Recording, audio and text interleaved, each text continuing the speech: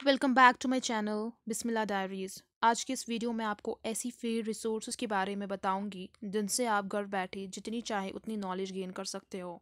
चाहे वो English maths science novels के रिलेटेड हो या किसी और के रिलेटेड तो let's go the first one is national digital library of India घर बैठे आप इस लाइब्रेरी का फ़ायदा उठा सकते हैं। इसका फोकस कई सारी नेशनल इंटरनेशनल लाइब्रेरीज़ के साथ है। All types of data is available in this type of library कई तरह के लर्निंग आइडियाज़ आपको ये प्रोवाइड करता है whether it is related to text books articles lectures audio books videos fiction and so on description में मैंने link दी है, वहाँ आप ओपन करके देख सकते हैं।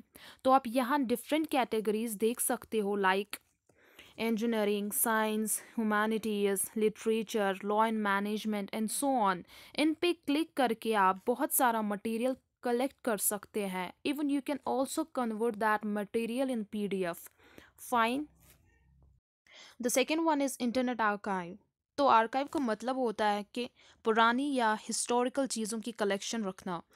और यहाँ आपको एजुकेशन एंटरटेनमेंट रिसर्च के रिलेटेड कई सारी चीज़ें मिलेगी। If you are a research student PhD student then I suggest you this one is better The third one is the e-Pathshala. It's the combination of Ministry of Human Resource Development plus NCERT. It's good for students, parents and teachers and hosts educational resources for them.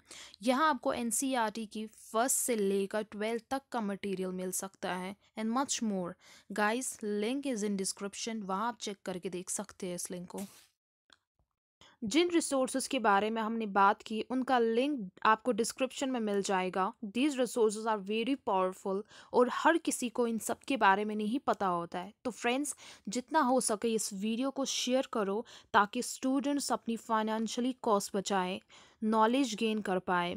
तो अगर आपको video अच्छा लगा हो तो like share and subscribe करें। Thank you